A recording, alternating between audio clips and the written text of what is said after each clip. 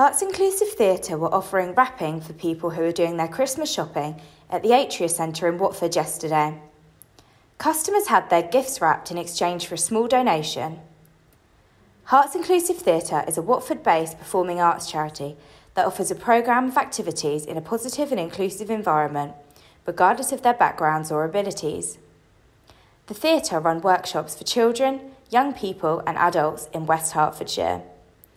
Speaking of plans for the future, the theatre look forward to launching a new children's theatre group in Borehamwood in 2022. Shoppers supported fundraising with generous donations to the theatre. It will um, support us delivering our workshops and allow more and more people to have access to the arts. Be around other people, be that in person or online, um, express themselves and, you know, develop confidence and again help enhance their well-being. The arts are so important and they're so important more than ever that everybody has access to them regardless of disability.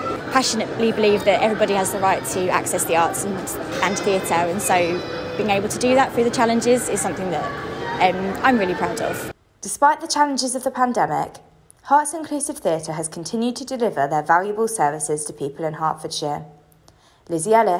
Local News.